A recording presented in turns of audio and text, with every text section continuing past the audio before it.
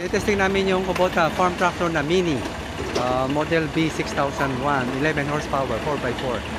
Yan, may mga customer ako ngayon, tinitingnan nila yung unit. Gusto nila yung mga maliliit lang, katulad ito. Mga mini. Yan.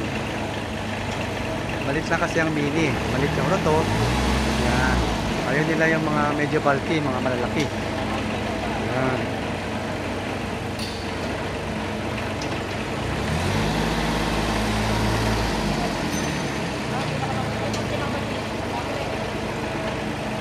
Pag kailangan nyo ng mga mini farm tractor, yan, marami pa po ako niyan.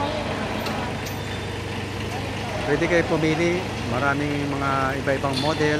Meron ako mga mga B-series na Kubota farm tractor. Yan.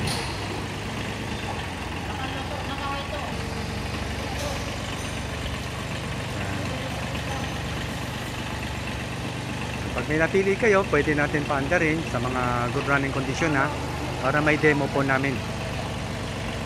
Customer namin yan. Yan. Pwede nyo naman testing pag may napili po kayo. Yan, available units namin yan. Uh, Kubota model mini D6001 mini tractor lang po yan.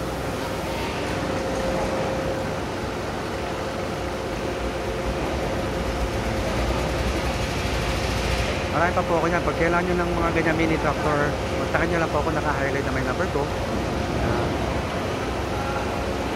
thanks for watching.